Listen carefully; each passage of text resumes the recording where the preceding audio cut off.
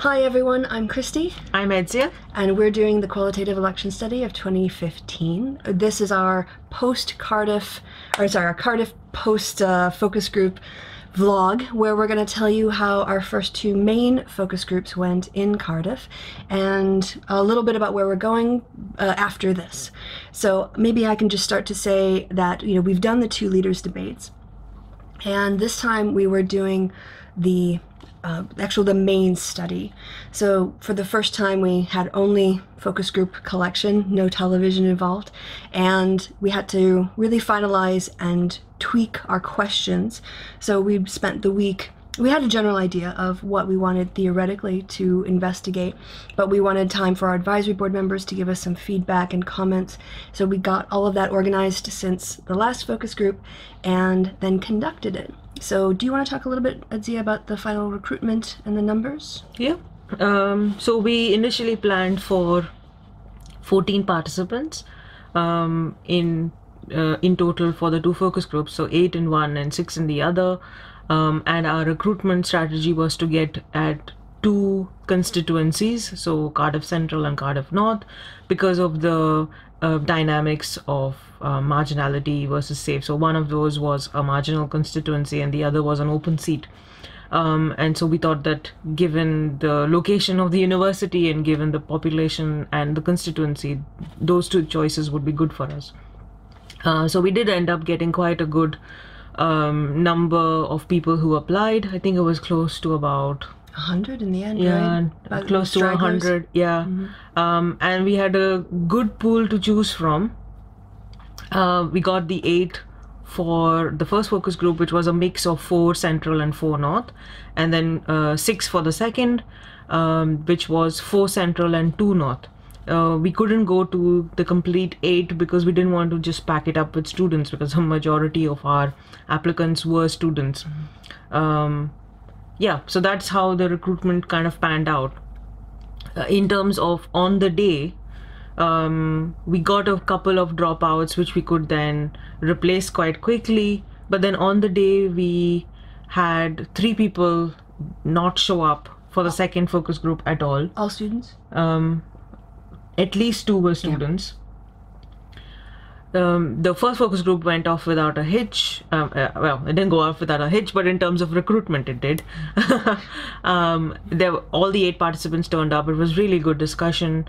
Um, and then for the second one, we had just three participants. It was still a very good discussion, very much in depth. The participants who did turn up actually got a chance to really talk about their um, decision making processes and their opinions and so on. So, in terms of the data, actually, it wasn't affected at all. Uh, at least that's what we think. Yeah. Yeah. And the other thing that we tried for the first time, because we had. We couldn't get all of the Cardiff Central people in one group and all the Cardiff North people in a different time group. So we ended up mixing them up together. So one of the things that we tried this time was dual moderators. And that way, the idea was if we had in, in both groups, you know, people from Central and North, that I would take Central and Zia would take North. And then we'd kind of pay a bit more attention to the discussions of the people in those constituencies in order to remember what they said and bring up questions and doing probing based on their particular dynamics. And we ended up kind of not only doing that section moderated, but going back and forth for the whole group. And I generally it worked, I think, really well. The only thing was uh, kind of forgetting who I for- occasionally toward the end would forget that it was your turn or forget that it was my turn.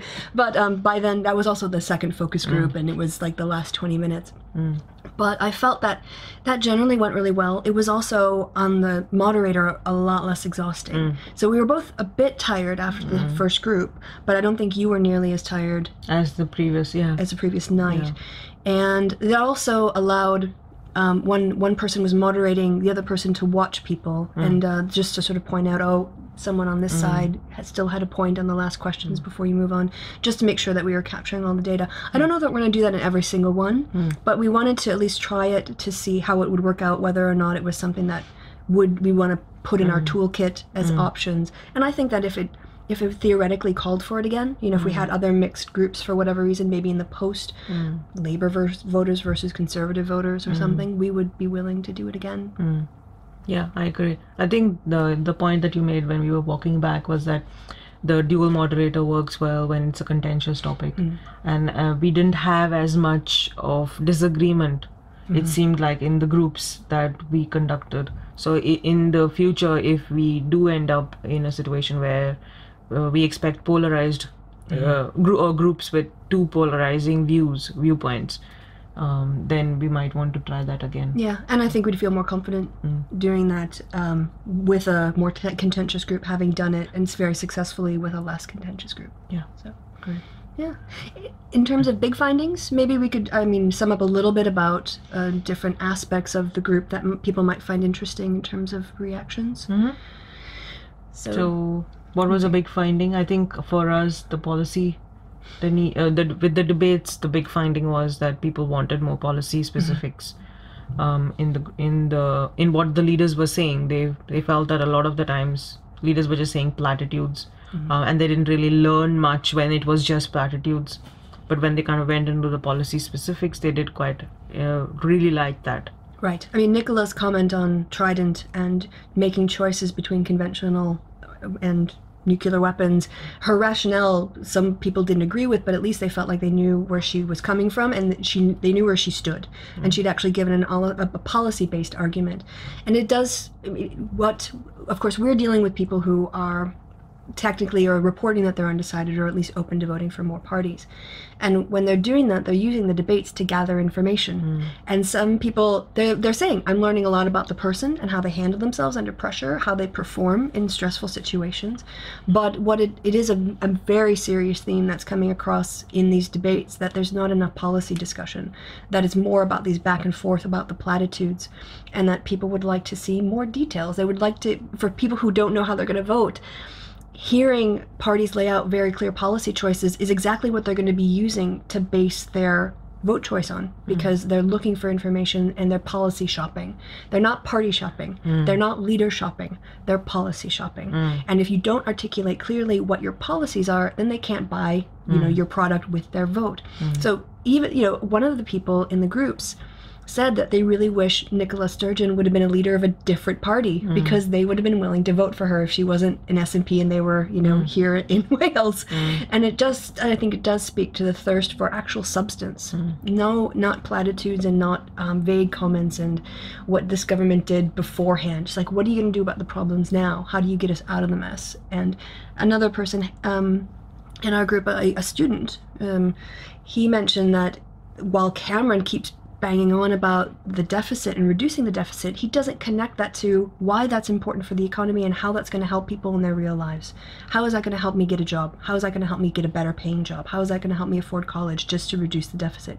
And maybe it won't, but you know, there doesn't just, you know, the, the reducing the deficit seems to be, at least in the discourse that they're hearing, a good thing just in itself and they're saying i don't get it you'll have to explain to me why we need this and that's more important than say you know funding reworking the tuition structures at universities so that people aren't borrowing thousands and thousands in order to get access to the job market where they can get a good job Yeah, I agree. Yeah.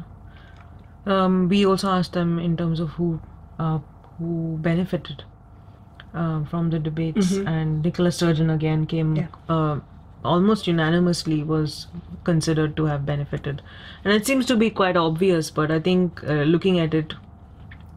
Uh, getting that kind of information from different regions, you would expect that from Scotland, but then we got that from uh, many of our Welsh participants as well, or participants in, Wel- in Wales yeah um, that Nicola Sturgeon definitely benefited.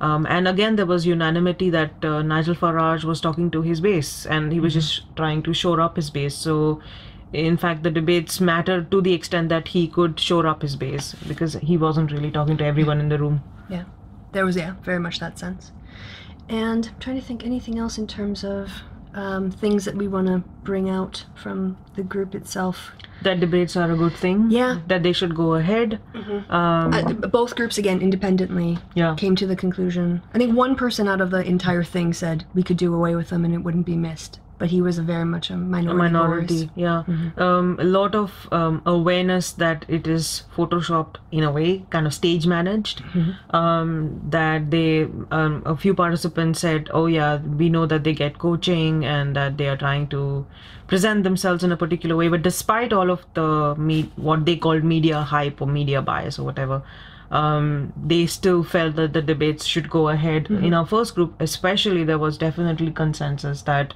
people were learning things, that it was an easier way of getting to know what the policies were, um, especially when people didn't have time to trawl through manifestos. Mm-hmm. Right. Yeah.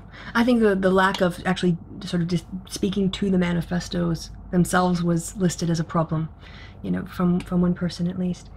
And um, yeah, and, and our student again said um, the Trident comment was not even an issue he was aware of, and he was watching the debates with a bunch of friends, and they ended up after the debates having a whole discussion about the merits of spending that kind of money on Trident versus conventional weapons, and now he feels like he knows the topic a lot better as a consequence. So Yeah. um, yeah. Um, trying to think of anything else. that we, we don't want to give away too much. Yeah, yeah, yes. But I think the debates thing is important because um, we're getting people's real reactions to them, and they do have a positive assessment, and they think that they're important uh, going forward. So even when people, this is it, even when people talk very negatively, they mention. Um, some talk, compare it to the presidential debates in the U.S. and make the distinction that we're not a president. The the UK is party based; it's not personality based, and that you're voting for a party, not a leader. Um, and they criticize the stage handling. That despite all this negative discussion that you hear about it, at the end of the day, they do value the debates. So don't let all of the criticisms of the debates and their formats make you think that people don't want want to get rid of them. I mm. think that what they I think what the BBC and the other mm-hmm. broadcasters could negotiate for better in future are policy-based debates rather than topic-based debates. If you have specific issues that you want to address and having really deeper discussions about how do you solve this problem. I think that trying that out maybe you'd actually get more of a response and more of a uh, a better um, reaction from people if you stop focusing on personalities. Yeah. Yeah. So That's it. yeah i think we had really amazing great data uh, especially on we have a question on which parties would you consider voting for and mm-hmm. we're getting some really interesting results on that mm. which and is thanks to our advisory board member for suggesting that. Mm. Yeah, because the the quality of the data, the depth of the data is brilliant. Yeah. Really brilliant. we went uh, in into people's discussions about uh, devolution and how they make choices about parties at different levels of governance, and it was interesting. We had one of our student assistants saying that uh, she had never heard of someone who would admit that they would vote for the Conservatives in Wales, but we had two participants say, uh, "Well, I wouldn't consider voting Conservative at the national level, but I would consider voting for it at the Assembly level because," and then they gave their reasons. So we're starting to unpack that qualitatively, how people make their calculations depending on the level of government and what is important, what considerations are, are in at that point. So that was, um, we're really excited about that data. And now it's um, Birmingham. Now it's Birmingham. We're back to Dundee today, and then in a week's time we will be leaving for Birmingham, um, and then the Colchester leg. Yes, As yes, well, As yeah. well, yeah. So I guess we'll probably have a few days off while we scurry around. Off. yeah, yeah. First day off from blogging uh, in order to, to get everything ready for Birmingham. And chances are we'll probably do another vlog to update you guys on how the Birmingham recruitment went. Yeah. And uh, also how the how the Essex recruitment is going. We are going to go into Clacton this time, so and that's a little bit out of our scope of university reach. So we're going to have to come up with some novel and original ways to recruit people uh, in that area. But that's a I'm sure a, a solution we can we can come up with. Anything else from No, that's it. all right, so from the um, from leaving Cardiff, I'm Christy, And Edzia. and we'll see you guys uh, um, right before the Birmingham focus groups. So, bye. Bye.